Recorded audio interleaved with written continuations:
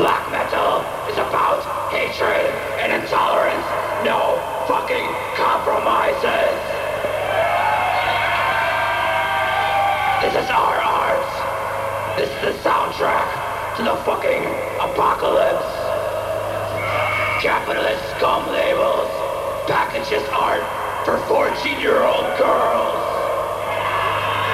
These people should fucking die. We, as the underground, shall forever stand against them.